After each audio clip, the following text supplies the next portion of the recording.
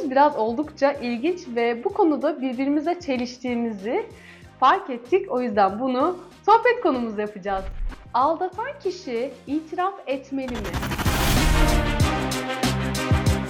Zaten aldatma başlı başına bir e, travma, başlı başına bir kriz. Yani bundan daha büyük bir kriz yok evlilikte. Ben diyorum ki aldatan kişi bunu itiraf edebilmeli. Ben diyorum ki bunu kendisi itiraf etmemeli. Çünkü Şimdi itiraf etmeli derken çok güzel çatışıyoruz. e, zaten e, hiçbir açıklaması, hiçbir gerekçesi olamaz. Burada kadınların ve erkeklerin düştüğü ciddi bir yanılgı.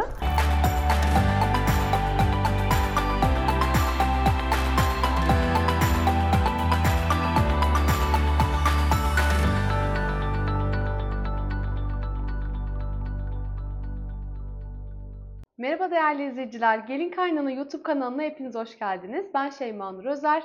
Kayınvalidemle beraber aile danışmanlığı yapıyoruz ve kendi YouTube kanalımızda hayatın içinden sohbetleri paylaşıyor olacağız. Evet, e, bugünkü konumuz biraz oldukça ilginç ve bu konuda birbirimize çeliştiğimizi fark ettik. O yüzden bunu sohbet konumuz yapacağız. Ney bu konumuz? Aldatan kişi itiraf etmeli mi e, konusunu. Evet. Aldatan kişi itiraf etmeli mi yoksa inkar etmeli mi diye bir soru var. Bir de aldatan kişi itiraf edeceğine bunun duyulması başka yerden olsa da fark etmez gibi mi olmalı? Zaten aldatma başlı başına bir e, travma, başlı başına bir kriz. Yani bundan daha büyük bir kriz yok evlilikte. E, ben diyorum ki aldatan kişi e, bütün güveni yıkmış, bütün dürüstlüğünü bir kenara bırakmış olsa bile bunu itiraf edebilmeli. Ee, aslında bu biz şimdi değerli izleyiciler şurada birazcık yol ayrımına girdik. Yani bunu hiç kimseden duymadan e, itiraf mı etmeli yoksa hani bir şekilde o kişiyle itiba, irtibatını koparsa bir ilişki hiçbir şey olmamış ki devam mı etmeli e, ayrımındayız. Yani ben şunu savunuyorum. Hiç kimseden artık böyle bir şey duymadan ya da hani o aldatan kadın e, bir erkeğin aldattığını tabii varsayıyorum burada. Hı hı, O karısını aldattığı kişi onu hani tehdit ediyorsa hı hı, e, bu hı hı. konuda zaten oradan çıkmıştı. Evet. E, ben diyorum ki bunu kendisi itiraf etmemeli. Çünkü eğer bir şey çözüm getirmiyorsa yani benim düşüncemde o konu sorun olarak ortaya konmamalı. Ama eğer bir şekilde bu ortaya dön- dön- dökülürse yani ilişkide kendi önlerine çıkarsa bunu da e, reddetmemeli. O, o noktada itiraf etmeli diyorum. Şimdi itiraf etmeli derken çok güzel çatışıyoruz.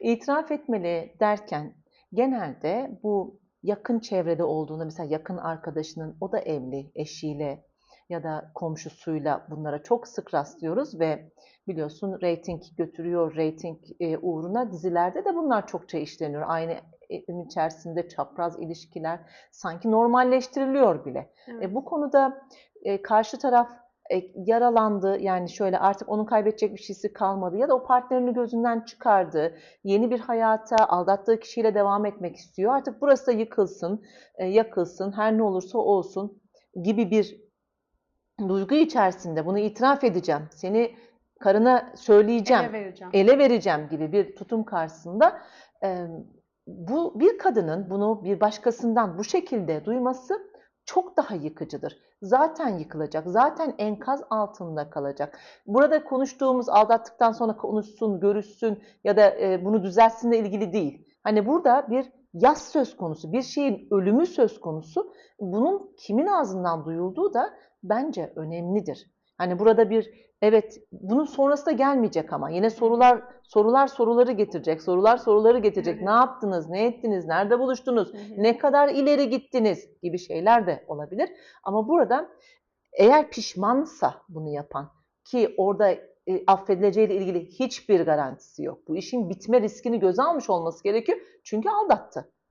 Aldatan kişi bir kere bu riski göze alması gerekiyor. Bedeli belki bir daha bit- bitecek bu ilişki. Ama bir insan olarak gerçekten kendi öz saygısını, e, vicdanıyla ilgili olan o kısımda bunu itiraf edebiliyor, edebiliyor olması. Çünkü öncelikle durumu kabul ettikten sonra insan pişman olur. yerlerde sürünür. Hani artık ne yapacak o saatten sonra ne yapacaksa onu yapacak. Öncelikle ama durum buysa bu. Ha, e, ama bu bir tehdit karşısındaki bir durumdan konuşuyoruz. Evet. Ben de e, şöyle katılmıyorum. Yani bu kişi zaten tehdit ediyorsa o erkeği seviyordur. Hı. Yani o erkekten aslında erkek vazgeçmişse bile kadın vazgeçmeyecek. Ancak bunu belki de blöf yapıyor ve karısından bir şekilde ayrılsın. Onun da cesareti yok. Çünkü o da evli. O da kocasını aldatıyor. Yani bir yerde o aslında er, adamla aynı e, ortak bir kaderi paylaşıyorlar. Hani Hı hı. partnerlerini aldatıyorlar.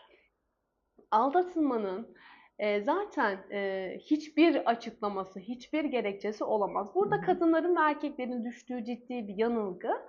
E, sorunun genelde kendisiyle ilgili olduğunu düşünmek. Bu bir öz eleştiriyi gerektirebilir. Çünkü evlilik budur. Yani bunu sebep olmuş olaylar ne olabilir? Yani bu cinsellik olabilir, iletişim olabilir, ekonomik problemler olabilir.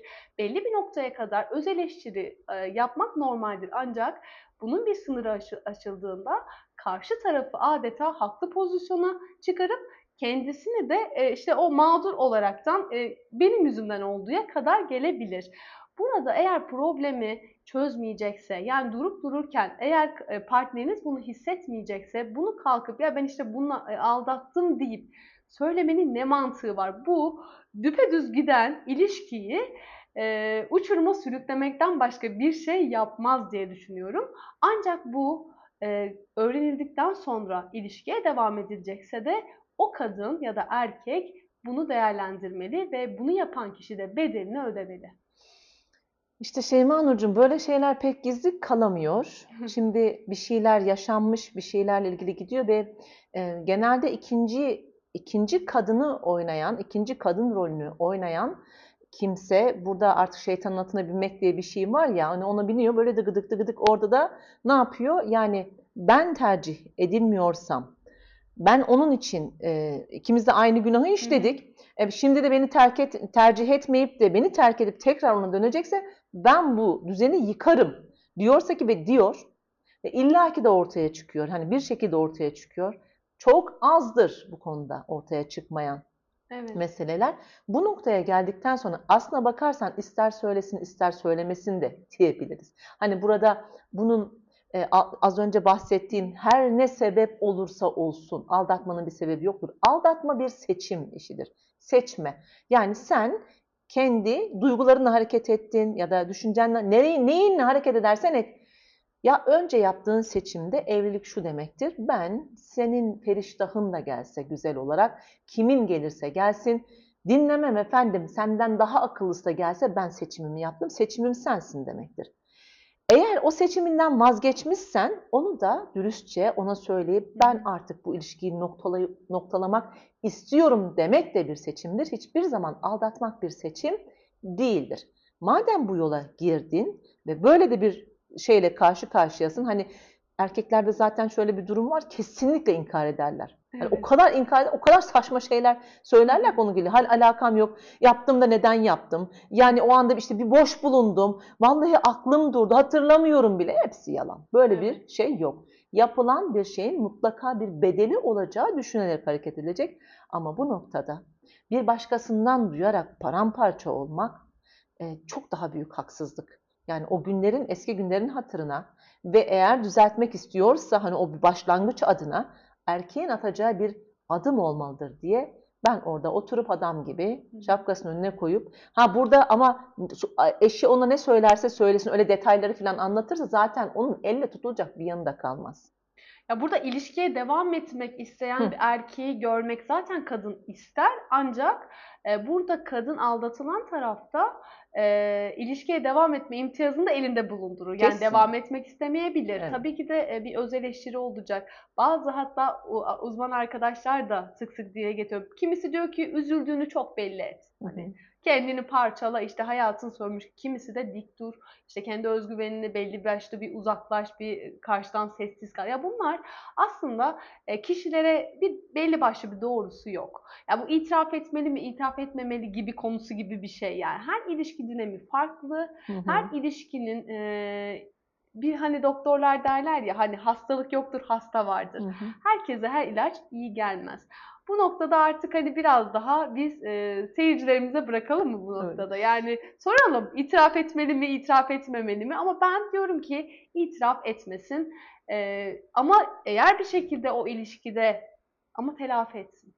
İtiraf etmesin ama telafi etsin. Ben de diyorum ki eğer o ilişkinin sürmesiyle ilgili bir umut hala taşıyorsa ve gerçekten büyük bir pişmanlık varsa öncelikle olayı orta- ortaya koyup itirafını etsin Hı hı. ve kesinlikle burada e, bundan sonra da artık o güveni kazanmak için ona bir hak verirse, bir durum verilirse ki bu aldatılanın elindedir.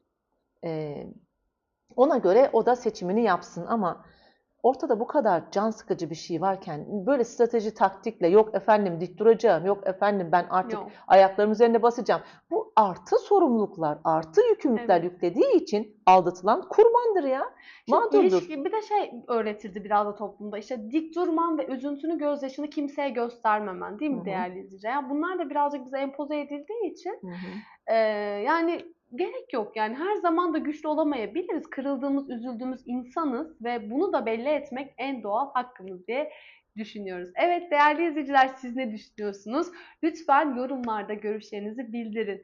Başka videolarda görüşmek üzere. Hoşçakalın. Hoşça kalın.